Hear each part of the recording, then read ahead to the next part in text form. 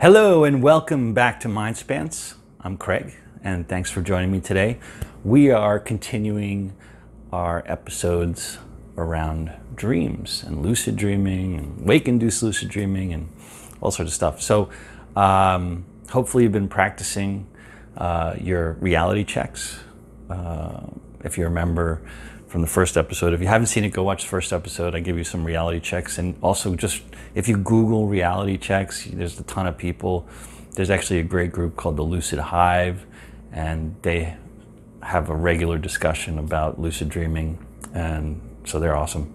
So, what I want you to do today is sort of just chill, and I'm going to tell you a story because uh, the first time that I was able to have an out of body experience through my meditative practices, and then I'm going to compare that to the first time I was able to achieve what's called a wake induced lucid dream, where you uh, move from a conscious state uh, to a dream state without actually going to sleep.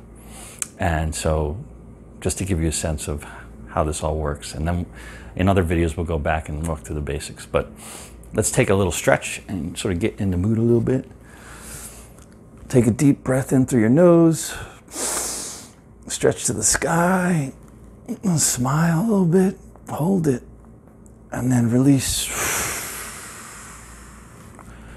Relax your shoulders, relax your jaw, and we're good to go.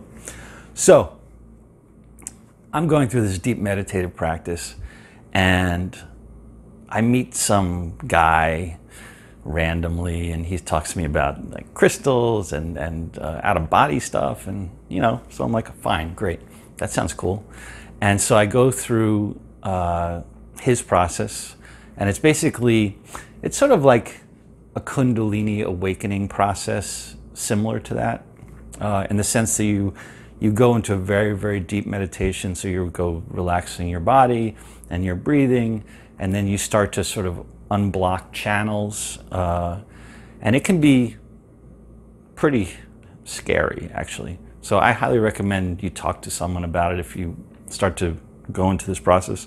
There's a lot of weird stuff that happens. So one is you, you do get this really heavy energy buzz as you get deeper and deeper and deeper.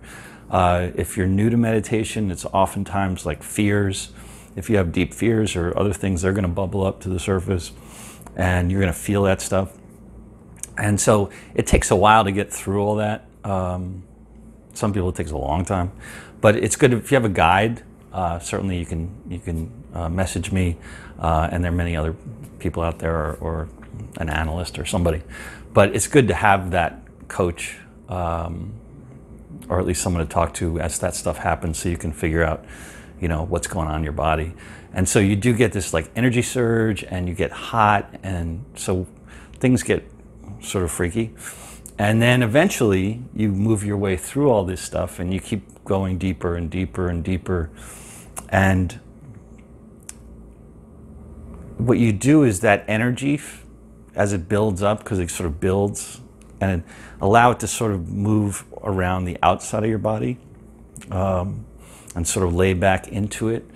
Uh, don't try to fight that energy. And just, it's like, zzz, like a buzzing, like electricity buzzing, buzzing, buzzing. And then what you want to do is try to channel it and imagine it all coming out through your head. And sometimes nothing happens. Actually, most of the time, nothing happens. But one time in particular, it was like an explosion. And it really was, um, it was frightening uh, the first time. So it was like an explosion, and it was like bright light, and I was like, I was getting sucked, like the G force was enormous, and I was getting sucked through this tunnel. And and next thing, it was like total quiet, and I was just floating above the bed, and and I was flying around, and then I realized I thought I would never get back to my body, which is very normal too, and uh, and then I I remembered that I had uh, grounded myself.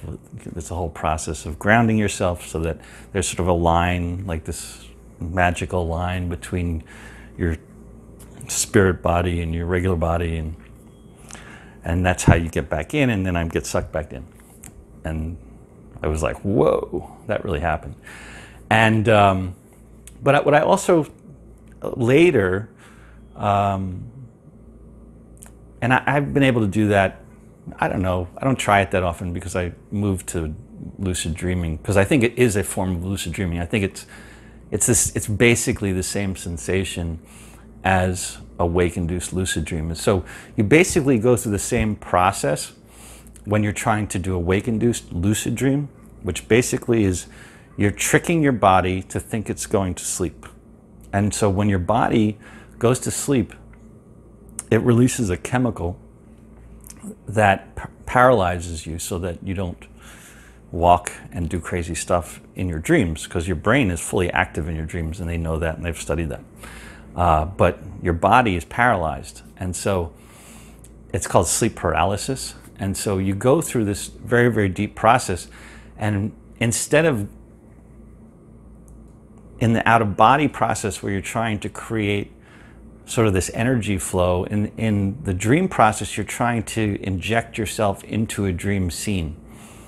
And there's a couple of ways to do that. So, and we'll talk a lot more about that. But basically, when you get deeper and deeper and you just sort of look, your eyes are closed, obviously, and you're looking sort of at that lens behind your eye, um, you'll start to see colors and images appear as you get deeper and deeper. And you just want to be an observer. You want to observe this whole process. And as those images get more and more vivid, it's sort of like surfing. If you've ever surfed or even body surfed or been by waves or anything like that, it's it's sort of like that. It's like you got to catch the wave at just the right moment and and sort of inject yourself into the dream. Sometimes I use a trick like falling up, like through a hatch in the bottom of the bed into the scene. Sometimes uh, it helps to sort of have someone in the dream reach out to you and then you sort of grab them into the dream. Uh, sometimes imagining yourself running and jumping into the dream. Uh, anyway, there's many, many styles of doing this, and whatever works for you, we try. The point is, you're trying to sort of catch this wave and then ride the wave into the dream. And you're going to have to just try things that work for you. But if you read all about this stuff, there are certain things that work, the things I just talked about, and others that do work uh, most of the time. And so, and what happens is, again, it's like, it's this surge of energy. It's the most incredible experience. Um, it's really like you just caught a 50 foot wave, and it's just that you go from having total quiet to like you're pulling like 10 G's being thrust uh, through something into this new environment and you sort of plop into it. And when you first get there, this is, then it takes a whole time to learn how to stabilize yourself, unfortunately, but it's so worth it. And so when you first get there, it's the first time you it's really different because now you're you're not feeling like you're out of your body. You're very much convinced yourself that you're entered into a dream state, and so there's not that fear uh, that you fear when you when I went through that out of body experience.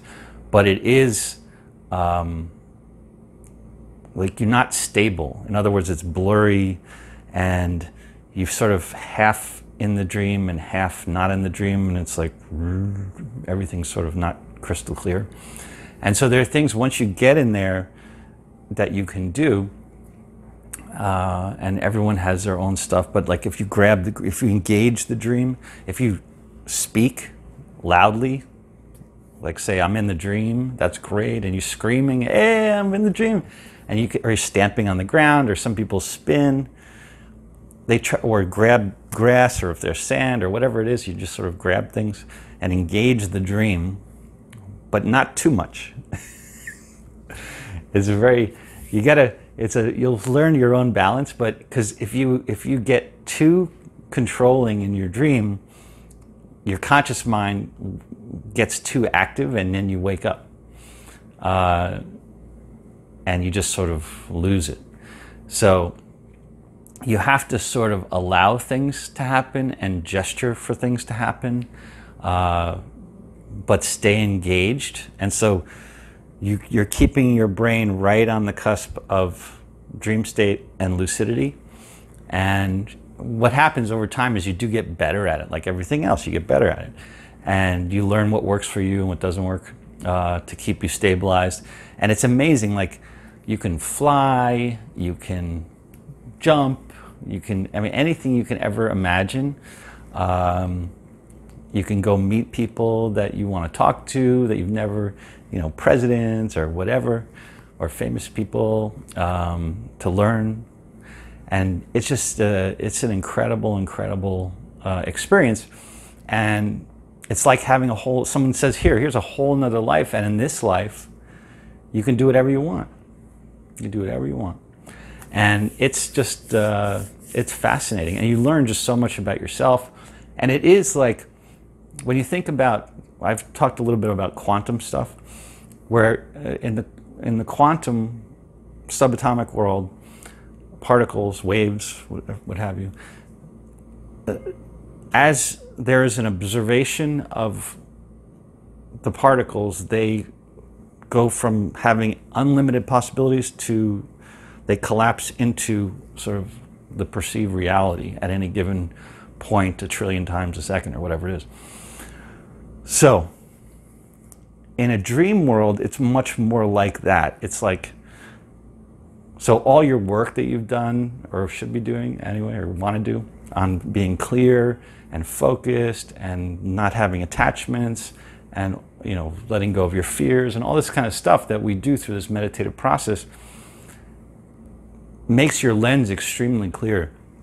So that when you're in this dream state you have a much more um, i don't want to use the word control because it's not that but it's a clarity that allows the dream to unfold in a way that's not completely chaotic. Um, which can also happen so that happens also um, and you got to understand that sometimes weird stuff happens It's sort of scary, and you got to really know in your mind. Maybe you do another reality check while you're in the dream, just to double check stuff that this is not real. And um, but it's really an incredible experience. But it's much more if you think about how they defined the quantum world. Dream state and how you interact with the dream is much more like that so it's much more attuned to how we define the way the universe works than I would say this world and the physical world, uh, which is very solid. You know, so it, it, I would say like this world is sort of a derivative of that world in some respects because this one is solid and linear. That one is sort of organic. So things just sort of, as you think about stuff, they sort of evolve like that. And so which makes it very sort of unstable in some respects, but it's also really cool and really fun, and uh, it's exploration, and and it's really great. So I'm going to leave you with that. Uh, we're going to go into many, many more details on the process, and also uh, try to answer questions that people have asked me in in the uh, in the past uh, as they've tried to learn this process, and certainly have I've continued to study and continued to learn from lots of people. So I wish you great dreams. Remember, do your exercises. Um, push against walls slowly. Push against your hands slowly. Look at clocks quickly. When you do those stuff in dreams, the clock changes, time changes. Uh, your hands sort of mush through each other, or they mush through the wall uh, or you can walk backwards into a wall, although some people might think you're crazy. Um, in a dream, you can you'll walk right through the wall, and uh, so it's sort of fun stuff. So have a great time. Enjoy this process. Read up about it and comment. Let me know what you think. Follow me. Subscribe to the channel and share it with your friends and be patient with your practice, be patient with yourself, and be patient with everyone around you. We're all on our own path, our own journey. We do stuff in our own time. So So just be cool with that. Have a great day. And thank you.